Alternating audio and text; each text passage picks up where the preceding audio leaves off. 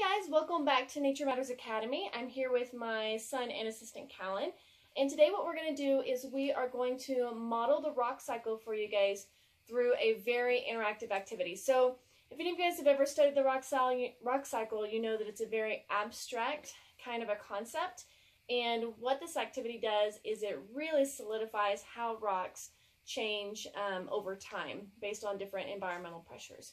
And so what we're going to do is we are going to start out by showing you guys the supply list and then we are going to um, get started with our activity. Alright, so it's always a good idea to start with your lesson plan and follow it as you go. So as you can see, I have mine here from um, Nature Matters Academy, and we're going to start with step one. So what we're going to do is we're going to take a whole crayon and give it to our child. So we've got this here. And basically what we're going to talk about is the fact that this is an igneous rock and we are going to break it down over time. So Cal, let's think about this for a second. Let's say there's some rocks outside. What do you think over long periods of time is going to make that rock break?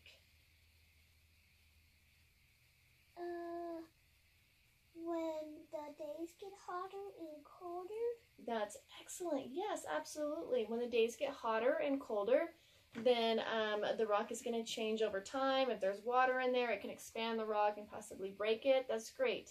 Um, what else do you think might um, cause the rock to, to break apart slowly over time or to break into small pieces? Um,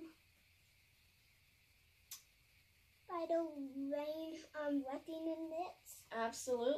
The rain, also maybe the wind. Um, lots of different things can change um, change the rocks over time. So let's take our igneous rock here and let's pretend like it is being weathered by um, rain and wind and the weather and the seasons and the sun.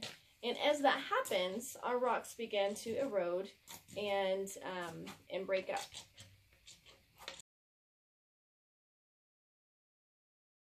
All right, now that you have weathered your igneous rock, you have all this sediment. So we have sediment of lots of different colors. And so what we want to do now is we want to lay down sediment um, like it would be in nature, right, through wind carrying the sediment or water. And um, we're going to lay it down in layers. And then what we're going to do is compact it. So you can just put your layers directly on a sheet of foil. I've made a little foil boat for ours because I want the layers to be very, very clear. And so, all right, Callan, let's choose a color. Which one do you want to do? Excellent. Can you pour it into that? Yes. Take, um, okay, yeah. Okay, let's pour it together.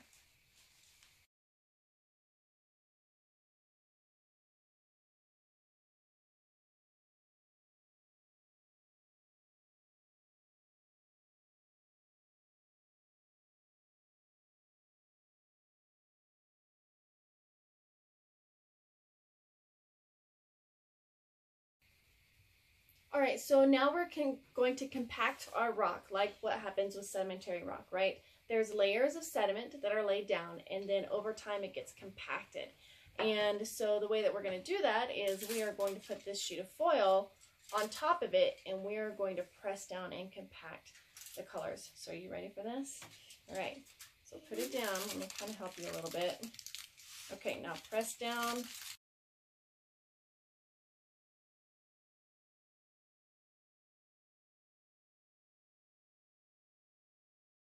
All right, so with our sedimentary rock, um, we heated it in the oven just a little bit to make it not fall apart because I was having a hard time getting it out of the foil without it crumbling.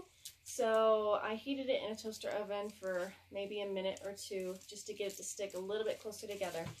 And now what we're going to do is we are going to cut our sedimentary rock into a few different pieces so that we can basically model the three types of rocks um, created in the rock cycles.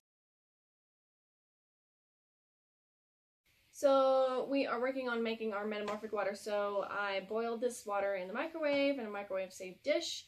And we're just gonna let it set for a little bit until it starts to until it starts to melt.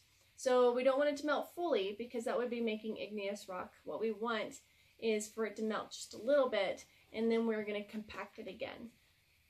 So metamorphic rock is, is heat and pressure. All right, so as you can see, our metamorphic rock, or our sedimentary rock that is becoming metamorphic, is starting to melt. And so we are going to take it out and compact it again. All right, so what we've done now is we have slightly melted our metamorphic rock and we've compressed it again. And then we took our other section of sedimentary rock and we put it in the boiling water so that um, it will completely melt. So that's probably going to take a little bit of time. If you need to, you can just stick your foil in the oven for a little bit, right? Because you want to get it completely melted. So, we are going to see what our metamorphic rock looked like.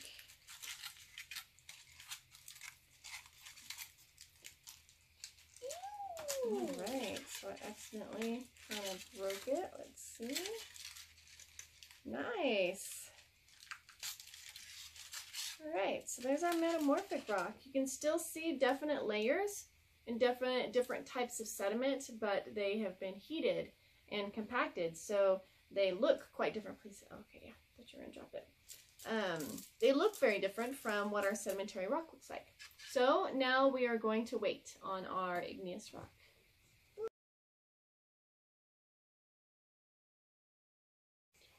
All right, so now you can see that we have our three main rock types. We have sedimentary, metamorphic, and igneous. And we actually made the rocks through a process that rocks go through naturally, right? They get compacted, then they get heated and compacted because they're deep in the earth, and then they get heated to the point where they melt. And then any of these rocks, right, can melt. Um, but also any of these rocks can um, be weathered and broken down back into sediment where I can start with sedimentary again. So it's a very um, dynamic cycle. It doesn't necessarily have a start or an end, right? Um, what we want to do now is a little bit of application. So we have our three main rock types, and we also have right here um, a rock collection. So what you can do, if you have your own rock collection, this is a really good idea because it takes it one step further where um, basically you ask your child if they can pick out a rock that looks like what you guys created through this activity. All right, Kellen, so first of all, we have this sedimentary rock, and it kind of breaks up really easily. What type of rock do you think looks like that? Oh, great. All right, so Kellen picked out an anhydrite rock, and um, I, I, would break it apart, but I don't want to. It breaks apart really, really easy. This is an example of a sedimentary rock. All right, guys, so I hope you learned a little bit about the rock cycle, and um, through this activity, you're actually able to model the process with your kids and they can see how rocks change over time due to um, various environmental conditions and pressures. And so, like I said, if you have your own rock collection, this is a great time to pull it out and show them examples of these three different rock types.